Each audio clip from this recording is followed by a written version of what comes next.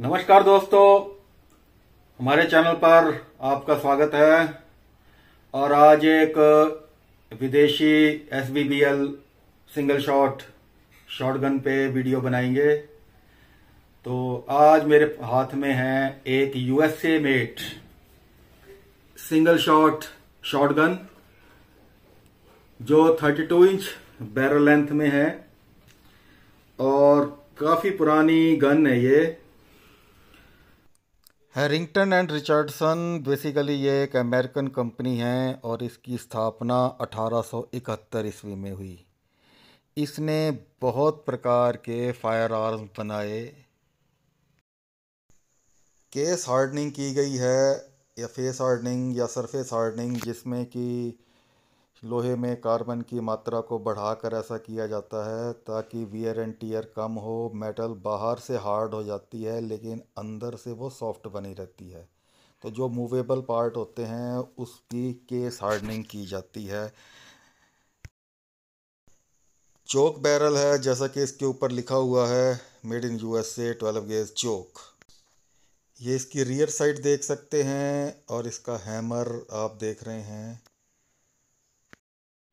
Harrington and Richardson Arms company Worcester Mass USA और यहाँ made in USA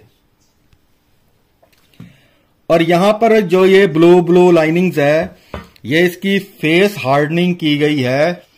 face hardening में metal ऊपर से हार्ड हो जाती है और अंदर से ये नरम रहती है। तो इससे वियर एंड टीयर कम होता है।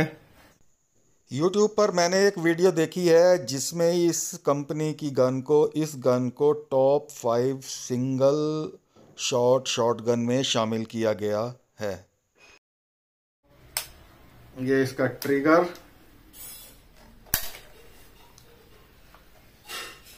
ये लीवर गन को लोड करने और अनलोड करने के लिए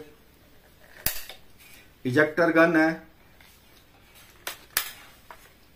और बैरल पे हालाँकि थोड़ा सा जंग लगा हुआ है लेकिन अभी भी इस पे ओरिजिनल चमक है। इसकी जो शुरू की चमक थी इसमें ऐसा नहीं लगता इस पे कभी ब्राउनिंग वगैरह की गई है। ये ऐसा लगता है बिल्कुल ओरिजिनल फैक्ट्री कंडीशन में ये गन है।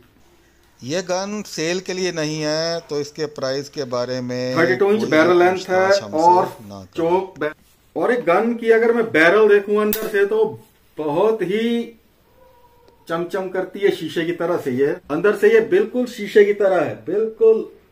क्योंकि ये गन जिस ओनर के पास रही है, उन्होंने इसे, आई, मुझे नहीं लगता इससे पचास फायर भी हुए होंगे।